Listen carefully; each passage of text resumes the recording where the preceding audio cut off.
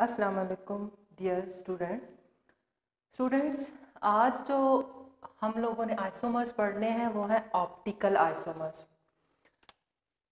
stereo isomers stereo isomers के बारे में हम लोगों ने क्लासिफिकेशन जो है वो पढ़ी थी कि स्टीरियो आइसोमर्स जो होते हैं, वो आगे से फर्दर डिवाइडेड होते हैं टू टाइप्स ऑफ़ आइसोमर्स में. एक होते हैं कॉन्फॉर्मेशनल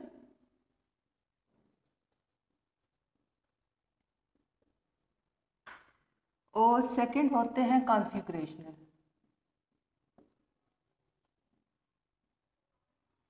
जो कॉन्फ़िगरेशनल होते हैं, वो आगे से फर्दर डिवाइडेड थे. जियोमेट्रिकल या जिसको आप सेस और ट्रांस भी बोलते थे. जिसके बारे में हम पिछले लेक्चर में पढ़ चुके हैं। और दूसरे होते हैं हमारे पास ऑप्टिकल। आज का हमारा लेक्चर जो है वो ऑप्टिकल आइसो मर से रिलेटेड है। ये हम लोगों ने आज हम देख रहे हैं। ठीक है? तो ऑप्टिकल आइसोमर्स की तरफ़ जाने से पहले मैं आपको बता दूँ कि स्टीरियो आइसोमर्स क्या होते थे? स्टीरियो आइसोमर्स का मॉलिक्यूलर फार्मूला सेम होता था। स्टीरियो आइसोमर्स का आपस में जो स्ट्रक्चरल फार्मूला है, यानी कि कनेक्टिविटी ऑफ़ कार्बन सेम होती है। स्टीरियो आइसोमर्स जो होते हैं, उनका आई नेमिंग सेम होती है। डिफर क्या करती है? ओरिएंटेशन या फिर आप कह रहे हो थ्री डी में जो उनकी अरेंजमेंट एटम्स और ग्रुप्स की जो अरेंजमेंट है, वो डिफ़र कर रही थी और जिसकी वजह से फ़िज़िकल प्रॉपर्टीज़ डिफ़र करती थी। ठीक है तो स्टीरियो आइसोमर्स होते हैं, वो basically three D arrangement of atoms और ग्रुप्स की फ़र्क की वजह से ये स्टीरियो आइसोमरिज्म का फिनोमिना ओरिजिनेट होता है। अब हम लोग उसमें से एक टाइप ऑप्टिकल आइसोमर्स है ऑप्टिकल आइसोमेरिज्म है। ऑप्टिकल आइसोमेरिज्म की तरफ़ जाने से पहले कुछ ऐसी टर्म्स हैं जिसको डिस्कस करना ज़रूरी है। पहली टर्म जो मैं यहाँ पर आप लोगों को डिस्कस करना चाहती हूँ, वो हम लोग कहते हैं, हम लोग डिस्कस कर लेते हैं कायरल या फिर कायरलिटी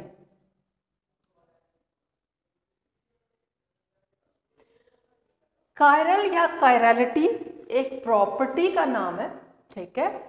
ये एक ऐसी प्रॉपर्टी है कि जिसमें हमारे पास कोई भी एक ऑब्जेक्ट या कोई एक मॉलिक्यूल अपने ही मिरर इमेज के ऊपर सुपर इम्पोज ना हो, ठीक है?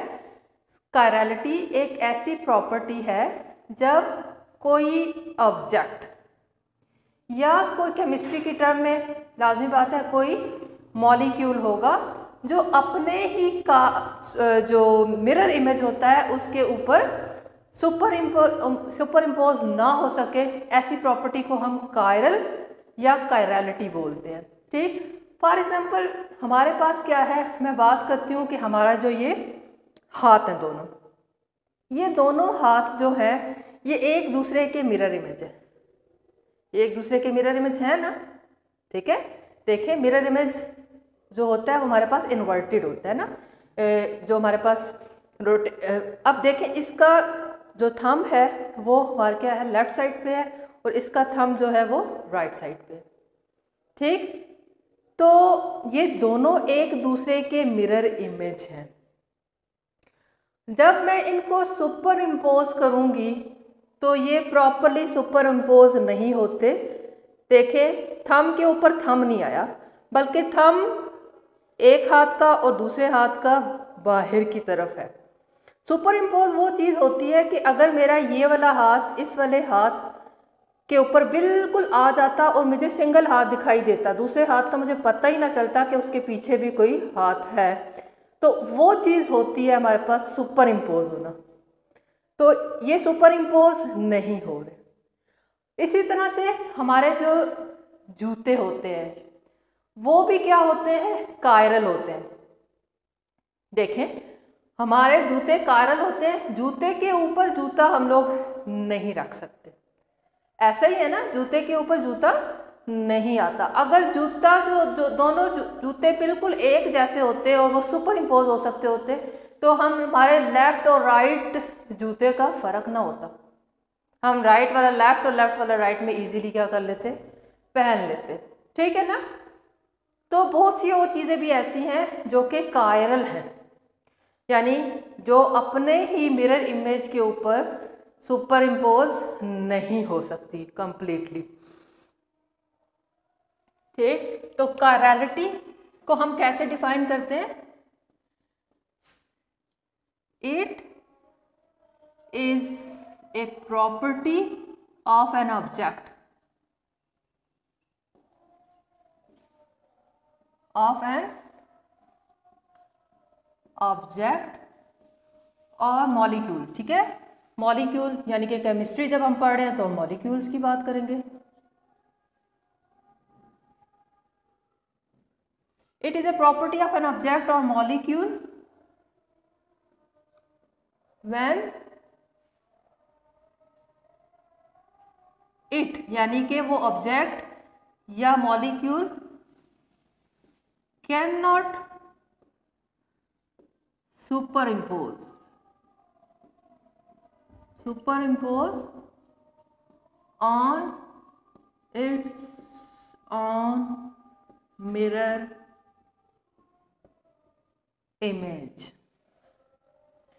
तो ये याद रखें कि कायरलिटी या कायरल जो है वो एक प्रॉपर्टी है। अब क्वेश्चन ये रेज होता है कि ऐसे वो कौन से ऑब्जेक्ट हैं जो कि कायरल हैं? और वो क्यों कायरल हैं? यानी कि बाज़ मालिक्यूल्स क्यों कायरल हैं? हमारे हाथ क्यों कायरल हैं? देखें। हमेशा वो चीज़ कायरल होती है जिसमें कोई प्लेन ऑफ़ सिमिट्री ना पाई जाए। कोई भी प्लेन ऑफ़ सिमिट्री एग्जिस्ट ना करे, वो चीज़ क्या होती है? कायरल होती है। ठीक पर्पज़ के लिए मैं जो हूँ, क्या करती हूँ? अपना हैंड जो है वो यहाँ पर ड्रॉ करती हूँ।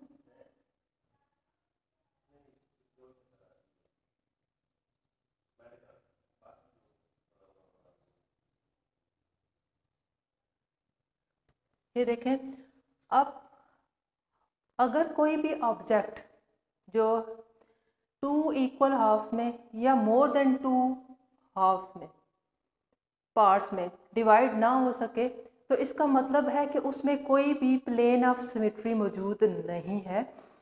इस हाथ को देखें, अगर मैं इसको इक्वली डिवाइड करना चाहूँ तो यहाँ से अगर हम इसको कट करेंगे तो इस साइड पे हमारे क्या आ रहा है? थंब आ रहा है। लेकिन इस साइड पे थम नहीं है। इसका मतलब है कि ये हाथ इस प्लेन पे कट करने की वजह से इक्वली डिवाइड नहीं हो रहा। एक जैसे टू पार्ट्स में डिवाइड नहीं हो रहा।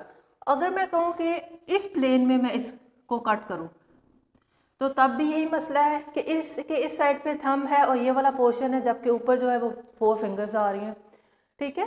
तो किसी भी प्लेन पे कट करने पे जो हाथ है वो इक्वली टू पार्ट्स में डिवाइड नहीं होता। इस, इसी वजह से ये जो हाथ है, ये एक कायरल ऑब्जेक्ट की एग्ज़ाम्पल है। एक कायरल ऑब्जेक्ट की एग्ज़ाम्पल है। अब ये तो हमारे पास एक कायरल ऑब्जेक्ट है ना, ठीक है? तो मतलब कायरल ऑब्जेक्ट वो होता है जिसमें कोई प्लेन ऑफ़ सिमेट्री मौजूद ना हो। सिंगल प्लेन ऑफ़ सिमेट्री भी ना हो। ठीक है? कोई एक प्लेन भी ऐसा ना हो, कोई एक कट पॉइंट भी ऐसा ना हो, जो उस ऑब्जेक्ट को दो इक्वल एक जैसे हिस्सों में कट कर दे। ठीक है? तो ये हमारे पास कायरल ऑब्जेक्ट की, किसी भी ऑब्जेक्ट की कायरल होने की वजह है, जब उसमें प्लेन ऑफ़ सिमेट्री मौजूद नहीं होती। अब क्वेश्चन ये रेज होता है कि ऑब्जेक्ट की बात तो हम लोगों ने कर ली। लेकिन हम लोग यहाँ पर पढ़ रहे हैं केमिस्ट्री ठीक है? केमिस्ट्री में कोई मॉलिक्यूल कब कायरल होगा, ठीक है? हम लोगों को एक्सपेरिमेंटली पता चलता है कि जब कोई भी, किसी भी मॉलिक्यूल में ऑर्गेनिक मॉलिक्यूल में कार्बन जो होता है, ठीक है? कायरल कार्बन एक टर्म इस्तेमाल होती है। ठीक है? अब हम सेकंड टर्म की तरफ़ मूव कर रहे हैं। कोई भी ऐसा मॉलिक्यूल जो कि कायरल कार्बन रखता होगा, वो मॉलिक्यूल कायरलिटी शो करेगा। वो मॉलिक्यूल कायरल होगा कायरलिटी शो करेगा। कायरल कार्बन क्या होता है? ऐसा कार्बन जो sp3 हाइब्रिडाइज्ड हो। ठीक है? क्या हो? Sp3 हाइब्रिडाइज्ड हो और अटैच हो attach with four different groups यानी कि उसके चारों तरफ़ जो भी ग्रुप लगे हुए हों, वो क्या हों? डिफरेंट हों। अब फॉर एग्ज़ाम्पल मैं बात करती हूँ कि मेरे पास एक कंपाउंड है। C H three C H two C H two C H three अब ये जो कंपाउंड है, इस कंपाउंड में देखें, अगर मैं इसको यहाँ से कट करती हूँ तो ये टू इक्वल हाफ़ में कट हो जाता है। ठीक है? ये कंडीशंस है फॉर कायरल कार्बन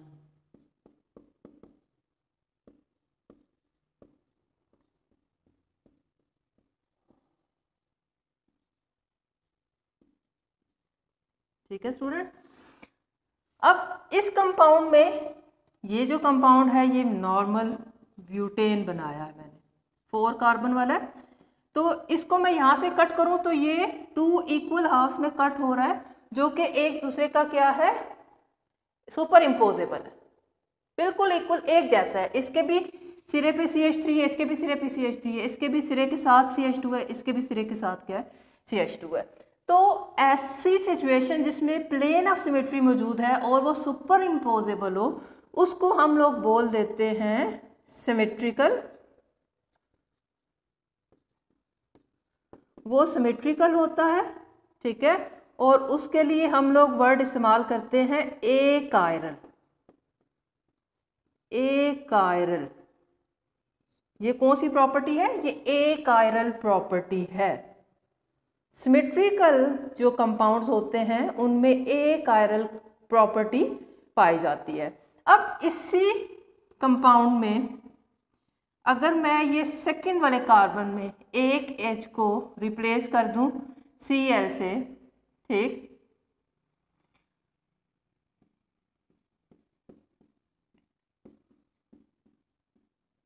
हाँ जी। अब आपका क्या ख्याल है? अब अगर हम इसको यहाँ से कट करते हैं तो क्या ये पार्ट और ये पार्ट आइडेंटिकल है? सुपर इम्पोजेबल है? नहीं है ना सुपर इम्पोजेबल इसका मतलब है कि इसमें ये वाला कार्बन जो है, वो कायरल कार्बन है। कायरल का मतलब ये वाला कार्बन sp3 है देखें, ये sp3 है, और फोर डिफरेंट ग्रुप्स के साथ अटैच है। मैं आपको करके दिखाती हूँ यहाँ पर। ये वाला कार्बन, ये, ठीक है, इस कार्बन के एक तरफ़ मिथाइल है, जो अब हमें पता है कि sp3 हाइब्रिडाइज जो होता है वो टेट्राहेड्रल शेप दिखाता है। टेट्राहेड्रल शेप इसके एक तरफ़ सी एच थ्री है, एक तरफ़ यहाँ पर एच ठीक है अब हमारे पास क्या है? एक तरफ़ क्लोरीन है क्लोरो ग्रुप लगा हुआ है तो वो आगे की तरफ़ होता है, उसको हम ऐसे वेज में शो कर देते हैं। ठीक है? और जो पीछे की तरफ़ है, उसको हम लोग क्या करते हैं? इस लाइन में शो कर देते हैं। उधर मैंने क्या दिखा दिया जी? सी टू एच फाइव ठीक? तो ये हमारे पास क्या है? देखें ये कायरल कार्बन है, ये sp3 हाइब्रिडाइज्ड है और इसके साथ चार डिफरेंट ग्रुप्स लगे हुए हैं। इसीलिए ये कायरल है। दोनों कंडीशंस फुलफिल हो रही है। अब इसका अगर मैं बात करती हूँ किसके? मिरर इमेज की। तो इसका मिरर इमेज कैसा होगा? ऊपर सी एच थ्री है, ठीक है? और ये हमारे पास क्या होगा ये एच ठीक है? और इसका हमारे पास क्या होगा? जो वेज है, जिसके साथ सी एल अटैच है, वो यहाँ शो होगा। ठीक? और जो हमारे पास परे जो हम लोगों ने दिखाना है, वो इधर शो होगा। तो अब ज़रा इसको उठा के अगर हम लोग इसके ऊपर रखें तो क्या ये इथाइल ग्रुप इधर नहीं लग जाएगा? ये इथाइल ग्रुप इधर लग जाएगा ना? मतलब ये दोनों एक दूसरे के मिरर इमेज हैं और सुपर इम्पोजेबल नहीं सुपर इम्पोजेबल नहीं है। लिहाजा ये दोनों क्या हैं? हमारे पास ये कायरल कार्बन होने की वजह से सुपर इम्पोजेबल नहीं है। ठीक है ना? तो कायरलिटी की कंडीशन यहाँ पर पूरी होगी। क्योंकि मिरर इमेज एक दूसरे के ऊपर सुपर इम्पोजेबल नहीं है। ये इसकी एक एग्ज़ाम्पल होगी हमारे पास। ठीक है? तो अब हमारे पास कायरलिटी की भी डेफिनेशन समझ आ गई। कायरल कार्बन की भी हमारे पास क्या है? डेफिनेशन समझ आ गई। साथ में मैंने आपको एग्ज़ाम्पल भी बता दी है। ठीक है? अब हम लोग चलते हैं किसकी तरफ़? ए कायरल की भी आपको समझ आ गई है कि जब हमारे पास प्लेन ऑफ़ सिमेट्री पाई जाएगी तो ऐसी कंडीशन में हम उसको ए कायरल का वर्ड इस्तेमाल कर देंगे। वो सिमेट्रिकल होगा। और कायरल जो होता है, वो हमारे पास क्या होता है? अनसिमेट्रिकल तो वो हमारे पास कायरल होता है। ओके स्टूडेंट्स अब यहाँ तक आप लोगों को उम्मीद करती हूँ समझ आ गई होगी। अब एक और टर्म हमारे पास इस्तेमाल होती है plane polarized light optical isomers क्या है? वो मैं चलती हूँ। ये आप लोगों को टर्म समझ आ जाए। तो ऑप्टिकल आइसोमर्स ऑप्टिकल एक्टिविटी को हम लोग एक्सप्लेन कर लेंगे इजीली उसके बाद. प्लेन पोलराइज्ड लाइट एक टर्म इस्तेमाल होती है। प्लेन पोलराइज्ड लाइट क्या चीज़ है? स्टूडेंट्स, हमारे पास जो नॉर्मल लाइट होती है, वो P plane polarized light P P L जो नॉर्मल लाइट होती है, वो हमारे पास इलेक्ट्रोमैग्नेटिक वेव्स होती हैं रेज होती हैं, ठीक है? और वो हर डायरेक्शन में क्या कर रही होती है? उसकी डायरेक्शनल थ्री होती है मतलब वो तीनों डायमेंशंस में वो लाइट जो होती है मूव कर रही होती है, उसकी बीम जो होती है, वो मूव कर रही होती है। हम लोग जब इस प्लेन पोलराइज्ड ये जो नॉर्मल लाइट है ऑर्डिनरी लाइट है, इसको हम लोग एक प्रिज्म में से गुजारते हैं। उस प्रिज्म का नाम क्या है? नाइकोल प्रिज्म जब इस प्रिज्म में से गुजारते हैं तो ये प्रिज्म क्या करता है? ये इस लाइट को पोलराइज्ड कर देता है। मतलब वन डायमेंशन को गुजरने देता है और बाकी डायमेंशंस वाली लाइट को रोक लेता है। ठीक है? इसकी एग्जांपल हम कैसे समझ सकते हैं? फॉर एग्जांपल हमारे पास क्या है कि मैं कहती हूँ कि ये हमारे पास स्लिट्स है। ठीक है? इस स्लिट्स में से लाइट ने गुजरना है। कुछ लाइट की बीम ऐसे आ रही है, कुछ लाइट की बीम ऐसे आ रही है, कुछ लाइट की बीम ऐसे आ रही है। अब वो वाली बीम जो इस स्लिट्स के डायरेक्शन के पैरल आएगी, वो तो इसमें से गुजर जाएगी। लेकिन जो लाइट की बीम्स ऐसे आ रही है, ऐसे आ रही है, ऐसे आ रही है वो रुक जाएगी। तो सिर्फ़ और सिर्फ़ क्या है? सिंगल डायरेक्शन वाली इसमें से बीम गुजर जाएगी, यानी कि एक डायरेक्शन वाली बीम इसमें रह जाएगी, जिस और फिर इस लाइट को हम लोग बोलते हैं प्लेन पोलराइज्ड लाइट ठीक है? प्लेन पोलराइज्ड लाइट जो होती है, असल में ऑप्टिकल एक्टिविटी उसी से रिलेटेड है। ठीक है? अब ऑप्टिकल एक्टिविटी क्या चीज़ होती है? अब हम लोग मूव कर जाते हैं। ऑप्टिकल एक्टिविटी की तरफ़। जी स्टूडेंट्स अब हमारे पास क्या होता है? ऑर्डनरी लाइट जो के हर डायरेक्शन में होती है। उसको हम लोग पहले कन्वर्ट कर लेते हैं नाइकोल प्रिज्म के ज़रिए किसमें वन डायमेंशन वाली सिंगल डायमेंशन वाली लाइट जिसको हम बोलते हैं प्लेन पोलराइज्ड लाइट ये प्लेन पोलराइज्ड लाइट को हम लोग गुजारते हैं किसी ऐसे सॉल्यूशन में, जो कि सॉल्यूशन होता है किस चीज़ का? कायरल या कायरलिटी रखने वाले कंपाउंड का। ठीक है? ये सॉल्यूशन किसका होता है? ऐसे कंपाउंड का जिसमें कायरलिटी मौजूद होती है। यानी कि एसिमेट्रिकल यानी कि उसमें कायरल कार्बन होता है। ठीक है? तो मैंने इसमें क्या डाल दिया? कायरल कंपाउंड उसका सॉल्यूशन है ये। इसमें से जब प्लेन पोलराइज लाइट गुजरेगी ना तो होगा ये कि ये सॉल्यूशन जो है क्या कर देगा? इसको ये न, इसकी असल डायरेक्शन थी। इसको क्लॉकवाइज रोटेट करवा देगा। ठीक है? क्लॉकवाइज रोटेट करवा देगा या एंटी क्लॉकवाइज रोटेट करवा देगा। अगर ये सॉल्यूशन इसको क्लॉकवाइज रोटेट करवाता है तो हम बोलते हैं कि ये वाला जो कंपाउंड था, ठीक, ये था डेक्स्ट्रो रोटेटरी डेक्स्ट्रो रोटेटरी ठीक है? इसको डी से या फिर पॉजिटिव साइन से शो किया जाता है। ठीक? ये कब है कंडीशन जब क्लॉकवाइज रोटेशन हो। ठीक है? अगर कंपाउंड जो होता है वो एंटी क्लॉकवाइज रोटेट करवा देता है प्लेन पोलराइज्ड लाइट को। ठीक है? एंटी क्लॉकवाइज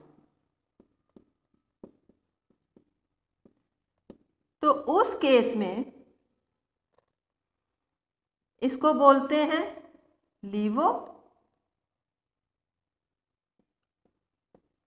रोटेटरी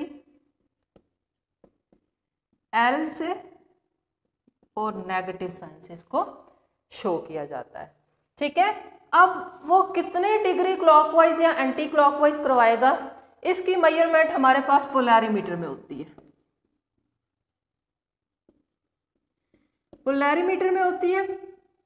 और एक और बात आप लोग याद रखें कि हम लोगों को विदाउट एक्सपेरिमेंट नहीं पता चल सकता कि कौन सा कंपाउंड क्लॉकवाइज रोटेशन देने वाला है और कौन सा एंटी क्लॉकवाइज ये सिर्फ़ और सिर्फ़ पोलैरीमीटर की मदद से ही जाना जा सकता है। ठीक है? हम लोग स्ट्रक्चर देखकर अंदाज़ा नहीं कर सकते।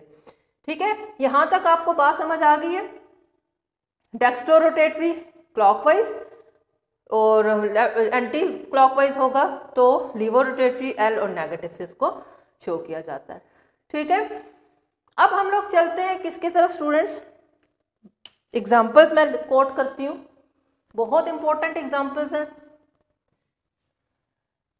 पहली एग्ज़ाम्पल जो मैं इसकी कोट करती हूँ, मैं एक कायरल कंपाउंड लेने लगी हूँ, जिसका नाम है लैक्टिक एसिड लैक्टिक एसिड जी। लैक्टिक एसिड क्या होता है? लैक्टिक एसिड कि एक तरफ़ होता है एसिड है तो लाजमी बात है कार्बोक्सिलिक ग्रुप होगा। ठीक है?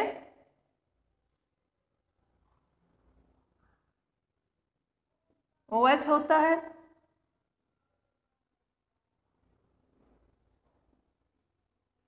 सी एच थ्री होता है।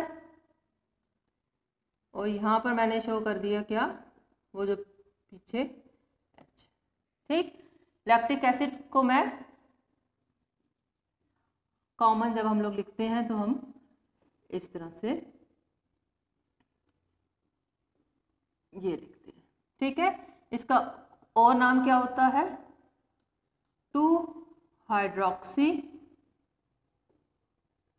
क्योंकि सेकंड कार्बन पे ओ OH ग्रुप लगा हुआ है। ठीक है। Propanoic O I C carboxylic group की पहचान होता है उसकी। और प्रोपेन थ्री कार्बन वाला प्रोपेनोइक एसिड ठीक, इसका कॉमन नेम होता है लैक्टिक एसिड अब देखें आप ये, अगर मैं इस लैक्टिक एसिड का मिरर इमेज लूँ तो इसका मिरर इमेज कैसा होगा? इसका सी ओ ओ एच तो ऊपर ही शो होगा, ठीक है? ये ओ एच जो है, यहाँ शो होगा, जो वेज बनेगी, वो यहाँ शो होगी, और जो एच है, ठीक है?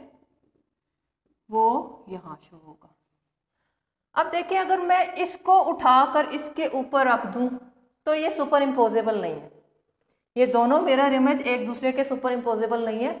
इसका मतलब क्या है कि ये दोनों, इन दोनों के पास ये वाला कार्बन कायरल है और ये दोनों क्या है ऑप्टिकली एक्टिव आइसोमर्स हैं।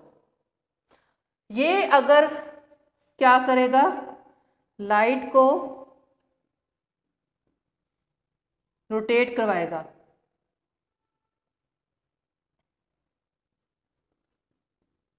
क्लॉकवाइज रोटेट करवाता है। तो ये करवाएगा एंटी क्लॉकवाइज ठीक है? क्लॉकवाइज के लिए हम लोग डी या पॉजिटिव का साइन और एंटी क्लॉकवाइज के लिए एल या नेगेटिव का साइन ठीक है? अब ये हमारे पास क्या हो गए? ये दोनों ऑप्टिकली क्या है? एक्टिव है।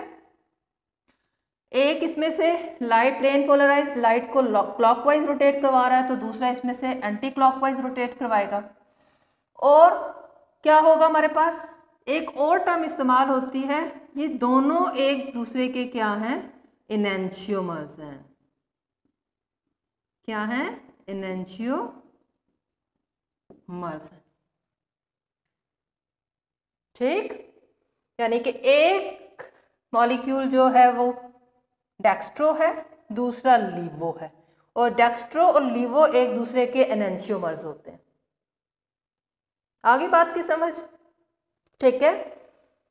अब एक टर्म इस्तेमाल होती है रेसिमिक मिक्सचर की।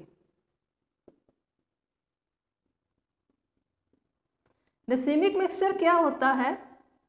जब हम लोग डेक्स्ट्रो और लीवो रोटेटरी जो ऑप्टिकल एक्टिव आइसोमर्स होते हैं, उनको equi equimolar equimolar quantities में हम लोग क्या डाल दें? पॉजिटिव एंड नेगेटिव एनेंशियोमर्स को।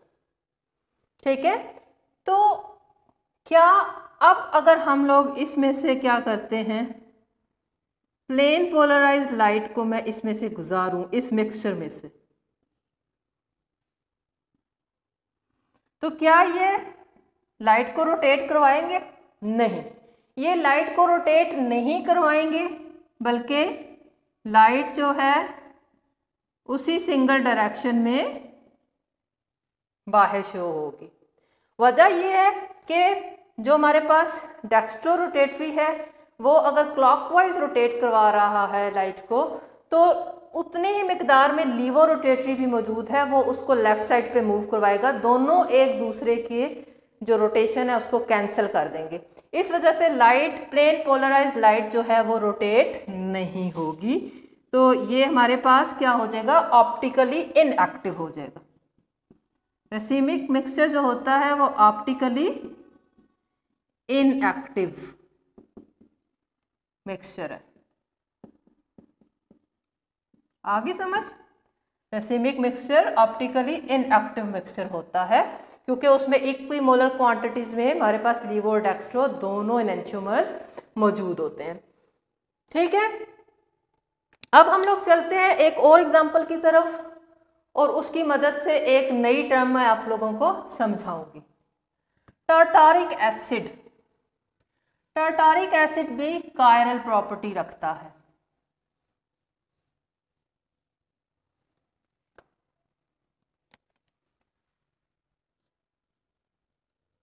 टार्टारिक एसिड ठीक? टार्टारिक एसिड का क्या फॉर्मूला है?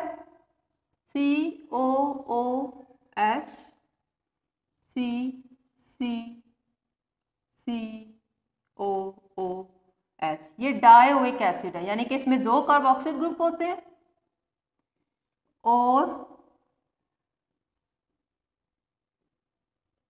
दो इसके साथ ओ OH ग्रुप क्या होते हैं? अटैच होते हैं। ठीक है?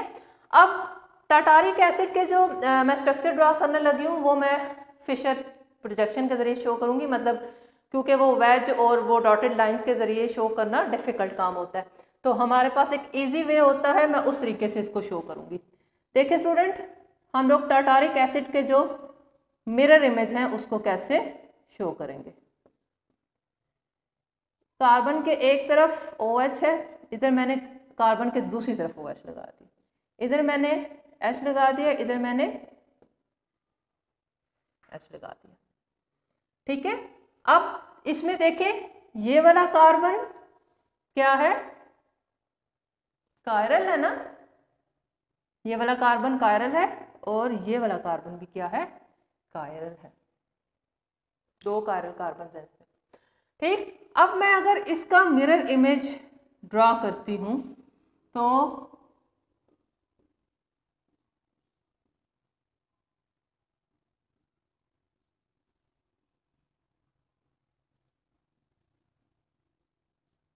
ये इसका क्या है? मिरर इमेज अगर मैं इसको उठा के इसके ऊपर रखूँ तो क्या ये सुपर इम्पोज है? नहीं है ना सुपर इम्पोजेबल इसका मतलब है ये दोनों ऑप्टिकली एक्टिव है। और ये एनेंशियोमर एनेंशियोमर्स है, यानी कि अगर ये पॉजिटिव होगा तो ये नेगेटिव होगा। ठीक है? अब देखें इसकी एक और रेसिमिक मिक्सचर के बारे में पढ़ लूँ। अगर हम लोग क्या करें equimolar positive and negative mixer ले लें। ठीक है? दैट्स मीन रेसिमिक मिक्सर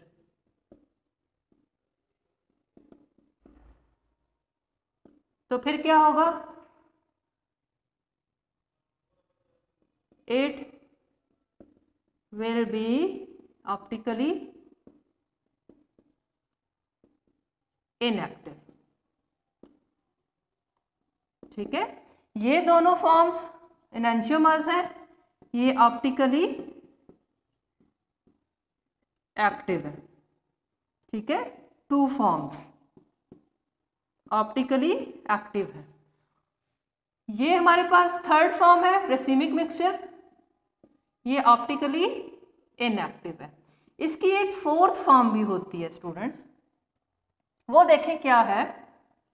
अगर मेरे पास, ये देखें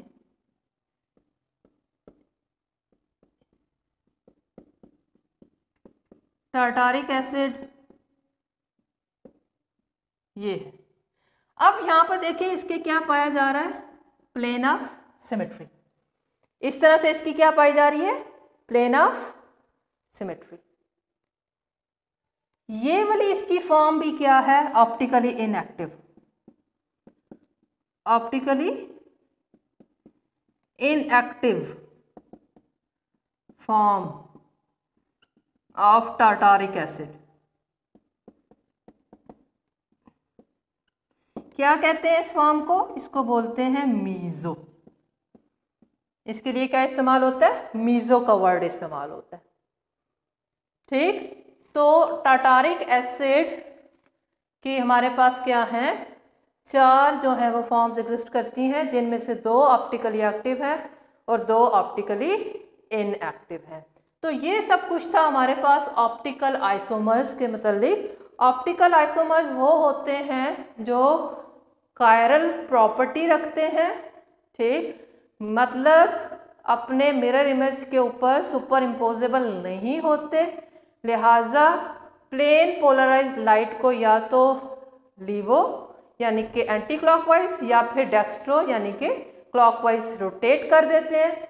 तो ऐसे कंपाउंड्स को हम इनेंशियोमर्स बोलते हैं और वो ऑप्टिकली एक्टिव होते हैं। अगर आपको कोई भी कन्फ्यूज़न हो स्टूडेंट्स तो आप कमेंट सेक्शन में मेरे से सवाल कर सकते हैं।